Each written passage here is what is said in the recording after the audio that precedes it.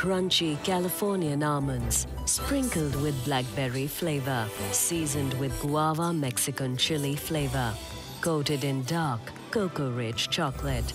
New Hershey's Exotic Dark. Dip the moment in Hershey's.